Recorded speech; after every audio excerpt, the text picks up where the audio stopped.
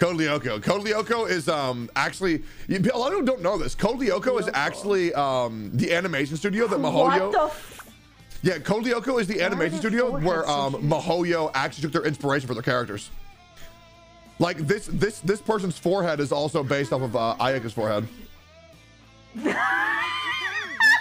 Mm-hmm. Yeah, no, understandable. I can see the resemblance. It's completely, yeah, valid as fuck. Holy shit, no, dude.